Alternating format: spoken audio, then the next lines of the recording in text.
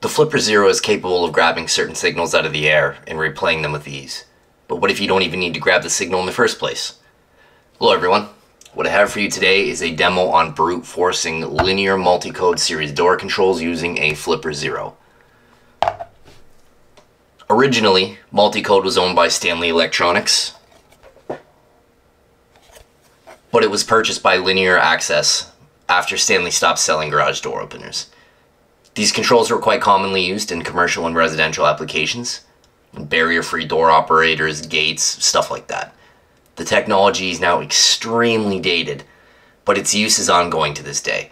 You can still purchase these products from Linear and other door control suppliers.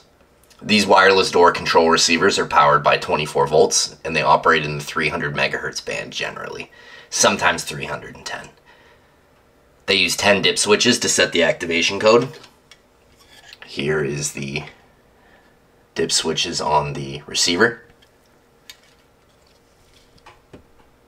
And the dip switches on a transmitter. Multi-code units were made with this style of connector so that they could be mounted directly to a garage door opener's power terminal.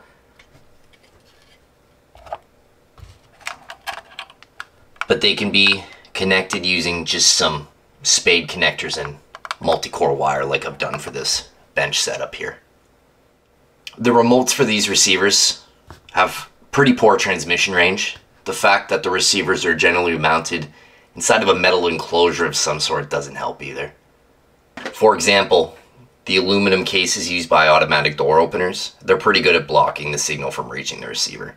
This is usually circumvented by drilling a small hole into the case so that the antenna is able to be pulled through and the receiver is actually able to get the transmission.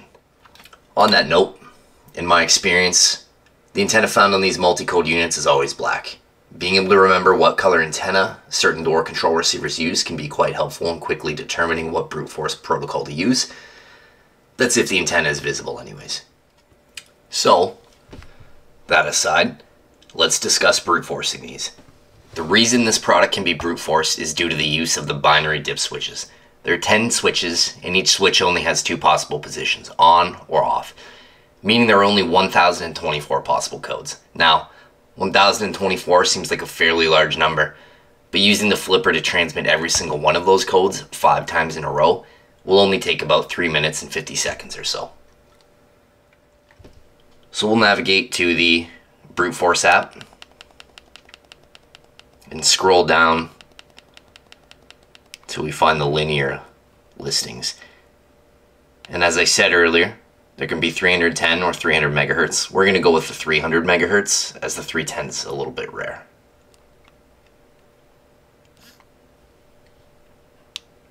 Now, once you hit start, it's going to move pretty fast through the sequences of numbers.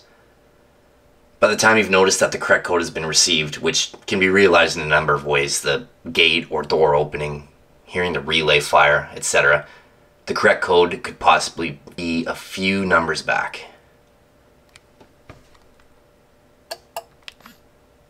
Now, the good thing is, after hitting stop, you can move backwards or forwards, one combination at a time. This lets you navigate through all the potentially correct codes and hit send until you locate the one that opened the door. So we're gonna hit resend, nothing, go back one, resend, back one, resend, back another one, resend, and there was the relay firing. So we can go ahead and save.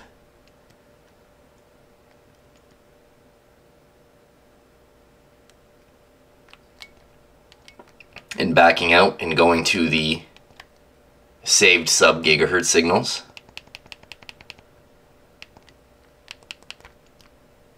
When selecting the emulate screen, it will actually display the dip switch settings, which is pretty handy because then you could purchase a compatible remote and program that to work as well.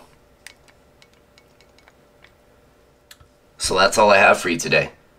I hope this uh, educated you at least a little bit in the process of brute forcing a receiver like this. If you have any questions about the content of this video or have any requests for other Flipper Zero content, please let me know in the comment section. That's all I got. Thanks for watching.